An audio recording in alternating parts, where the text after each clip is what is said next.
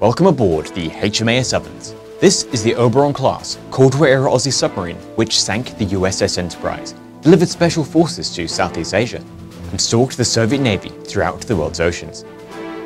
None of these missions could have been achieved if not for her unprecedented stealth.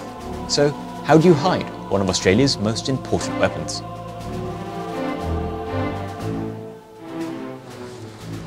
Obviously, the ovens is pretty easy to spot when on the surface, but that's not where we tend to operate. By going just 10 meters down, the ship's black painted hull, combined with reasonably choppy conditions, makes spotting them pretty much impossible. Because of this, we don't rely on visible light in order to detect submarines, but instead use some specialized technology. Give me a ping, Vasily. One ping only, please.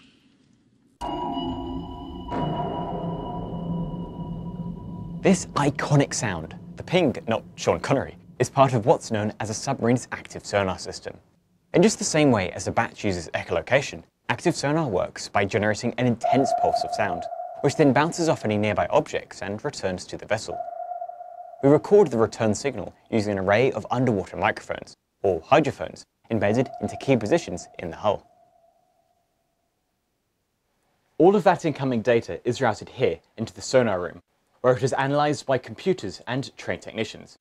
By comparing the order in which our hydrophones are activated, we can work out where our sound is coming from. We calculate how far away our object is by multiplying the known speed of sound by the time between emitting the ping and hearing its echo, remembering to divide by 2 to account for the return path.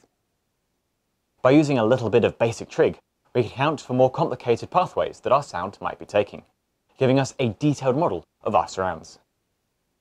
Active sonar is great for spotting enemy warships, but they can just as easily generate their own pings and search for us as well.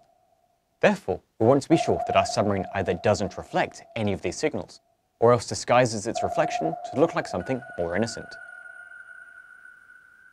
Anechoic tiles are attached to all external surfaces. They are basically thick rubber sheets with an array of precisely sized holes drilled into them. These holes are designed to trap incoming sound or modify the reflected signature. These are the equivalent to the foam sound studio tiles which you may be familiar with, and are roughly as good at stopping an echo.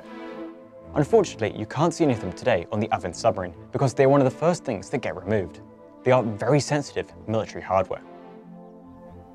As a kid, I remember playing Marco Polo in the pool.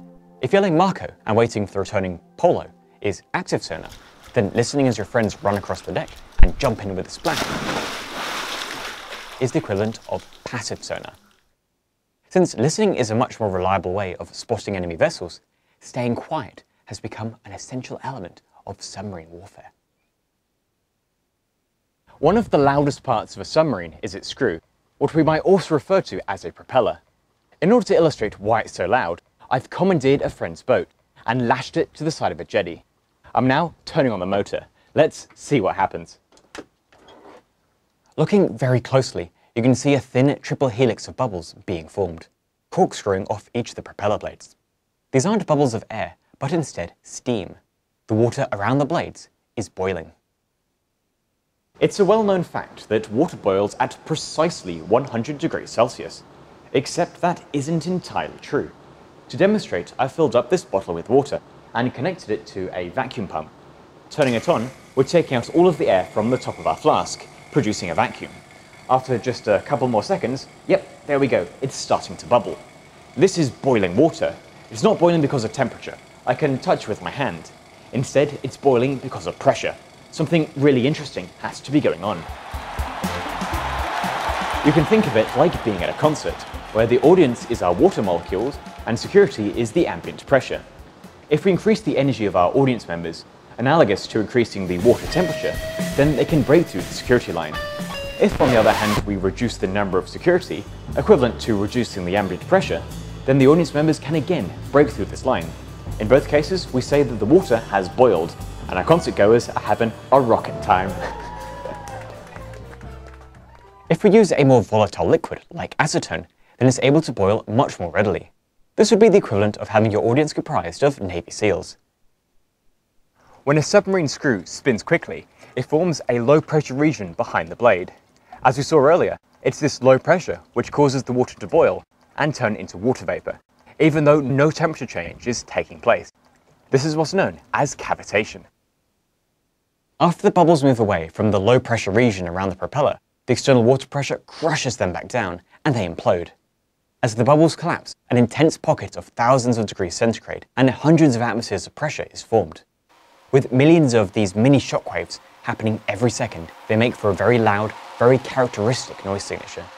These don't just alert enemy vessels of your presence, but also slowly eat away at the edges of the blades. There are a few different ways of reducing noise. We could reduce the shaft speed, which does result in loss of cavitation, but at the same time massively reduces thrust. On the other hand, there are some very smart military engineers who have designed the perfect propeller. As to what it might look like, well, we really have no idea because they're not telling. However, based on the satellite photograph, we can assume that they have large flat surfaces in order to minimize cavitation while still having pretty good thrust. Back inside, our aim is to keep the machinery as quiet as possible, starting here in the engine room. These massive diesels burn through a lot of oxygen.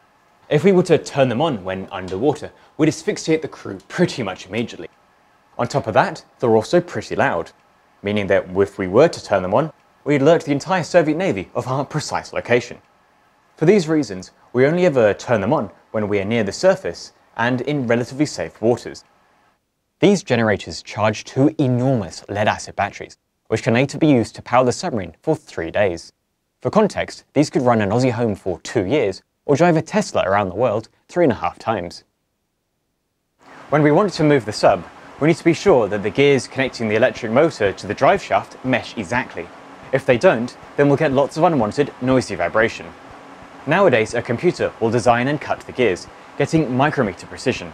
However, back where the ovens was built, they'd have been made by hand. While we're on the topic of submarine propulsion, and given my love for the movie The Hunt for Red October, it would be silly of me not to mention the silent Caterpillar drive, which features so heavily in that film. Also known as a magneto-hydrodynamic drive, this is actually a real-life technology, and I've managed to build my own small-scale working model using some materials I found in my garage. We could test out in the pool. It is a salt pool, so in theory it should work. However, to get the full impression, I filled up my bathtub with a few bucket loads worth of salt to get just the right conditions. As you can see, the boat is travelling through the water without any moving parts. Although it may appear to be a perpetual motion machine, trust me, it isn't one. If it were, then I would have already commercialized it and made millions of dollars. So instead, I'm going to tell you how it works. Here's the view from under the surface. You can see lots of tiny bubbles being formed, but these aren't what's propelling it through the water. If you're interested in those bubbles, then I've discussed hydrolysis within my Martian Caves video.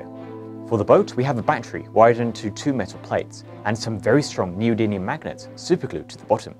The whole thing is supported by some foam floats. My salt-laden bathwater contains lots of positive sodium and negative chlorine ions. The sodium are attracted towards the negative plate and the chlorine towards the positive one. By itself, that is not enough to move the boat. But remember that we also have a bunch of really strong magnets glued to the underside. These are all aligned so that the south pole is pointing towards the water, giving us an upward magnetic field. When a moving charge passes through a magnetic field, a force is exerted on that charge. For the positive, we use the right-hand rule to remember which direction that force is in.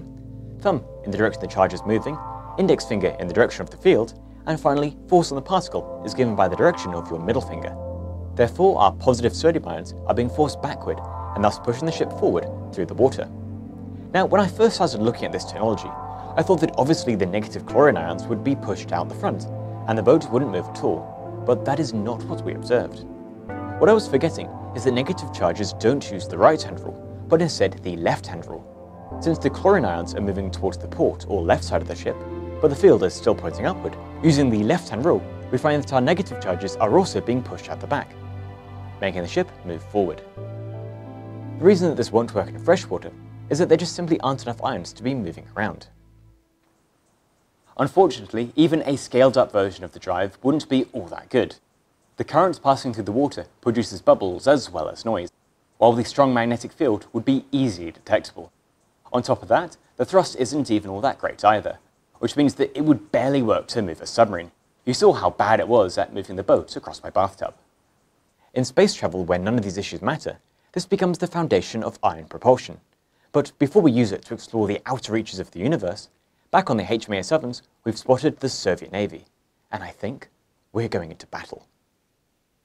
When stalking an enemy ship, or indeed being hunted by one, sailors were told to cease all unnecessary activity and remain silent, perhaps lying down in their bunks. While there is some discussion as to how effective this could be, as compared with the noises of the ship itself, it is undeniably an excellent way of instilling a sense of caution.